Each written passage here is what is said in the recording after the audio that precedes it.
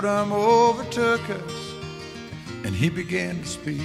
He said, Son, I've made a life out of reading people.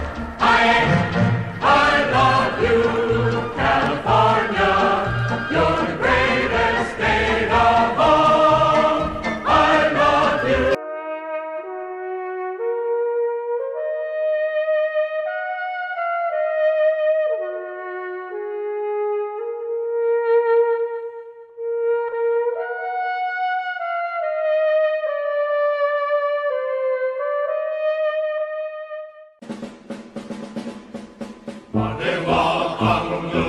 Angul, Wakatekiwa.